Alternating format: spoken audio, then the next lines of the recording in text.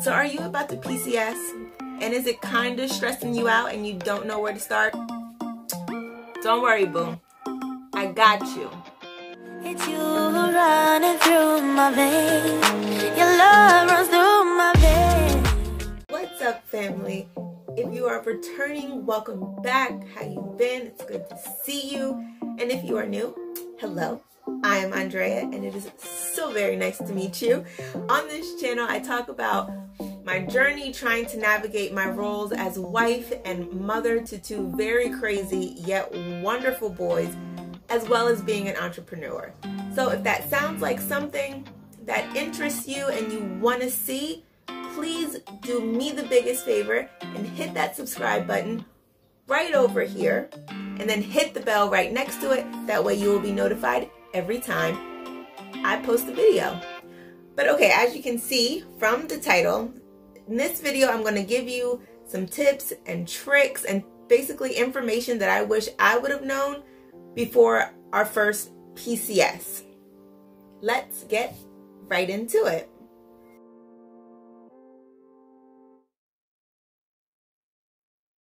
Now, there are two different ways that you can move with the military. You can either do a DITY move, which is basically like a DIY move where you get the movers, you get the truck, you move your stuff yourself and pay for it yourself and then have the military just reimburse you. Or you can have it to where the military does everything and you're just kind of hands off in the process. The military will send the movers, the military will send the people to pack up your belongings. They will transport everything and basically they'll just bring it to you at your new house. Now, if you can do a DITY move, hats off to you. You are wonderful. But the way my anxiety is set up, I can't do it. But either way, whether you're doing a DITY move or you're having the military move all of your stuff, the best thing that you can do is go through everything that you own and figure out what it is that you need and the things that you don't need. So go through your closet, go through your cabinets, and everything that you haven't used or you haven't worn in a long amount of time, give it away. Like there is no need to take things that you don't use along with you from place to place to place. That's like hoarder 101. Don't do that. Because nine times out of 10, you don't know where you're going to be living. You don't know what the size of your new place is going to be.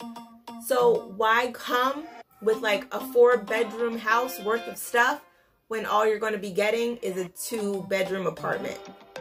You get it? Like it's kind of, you're going to be confined and really claustrophobic. Just don't even do it.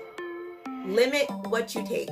Also, by going through your belongings and taking only what you need, this gives you the opportunity to organize your move from the very beginning. So you can go through, say, your office and go through all of your things that you have in your office.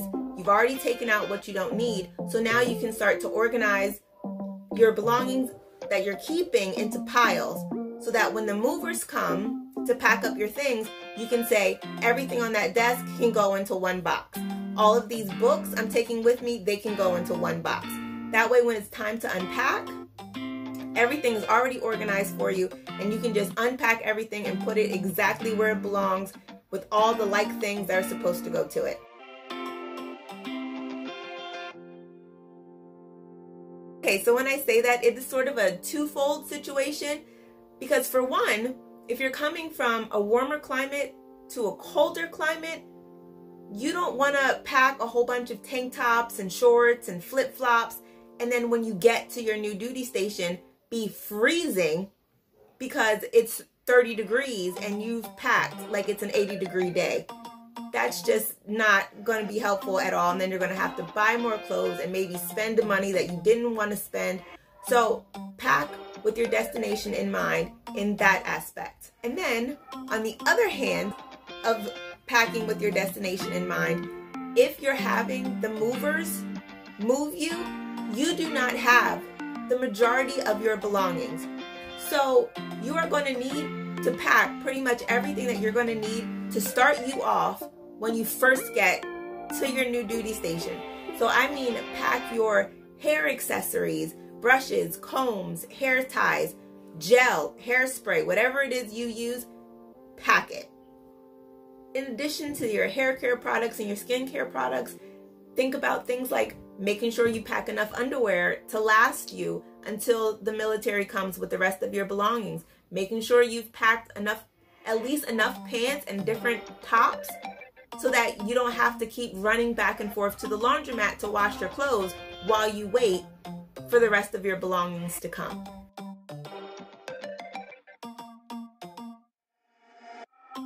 So, my family, we have a bunch of health issues. I have multiple sclerosis. Both of my sons have asthma. My oldest son also has a whole host of food allergies that require EpiPens in addition to asthma. So, all of those things, I try to refill all of our prescriptions prior to leaving from one place and heading to another. Because you know, there's always that delay in waiting to meet your new doctors and establish care with them and having to take them through your whole health history and everything, and then them filling out prescriptions. Like, it's a whole headache and it just alleviates so much stress if you already have the medications that you need on hand while you wait for them to handle all of your medications and get to know you and order things. Just it completely avoids any delay in medication.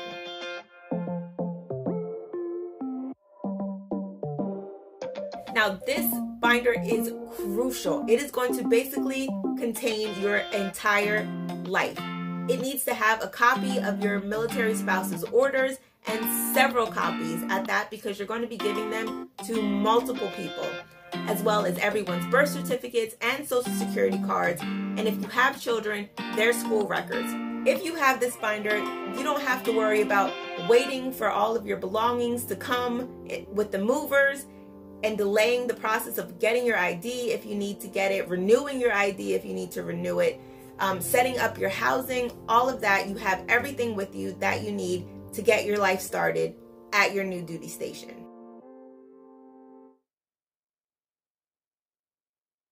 Moving is already stressful and unpacking is even more stressful. So if you go to the Dollar Tree, grab yourself several rolls of different colored duct tape.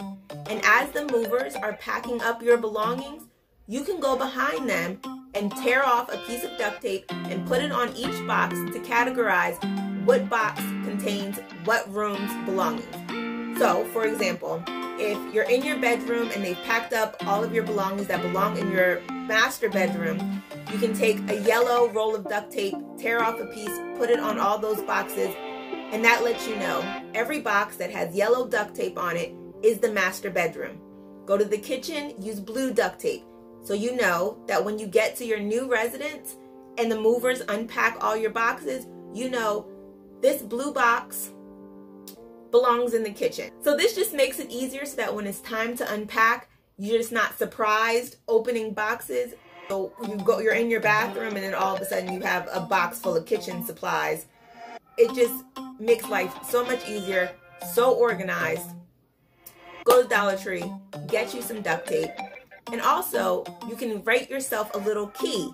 So take a piece of paper and write what each room in your house is, and then take a swatch of the duct tape and put it next to its corresponding room. So yellow is master bedroom, blue is kitchen, so forth and so on, and put that in your important documents binder to carry around with you. That way, when the movers come, you can just take that piece of paper, your little key, out of the binder and put it up in an area where everyone can see it. So as the movers bring in boxes, you know, okay, this box goes here, that box goes there. Make your life so simple.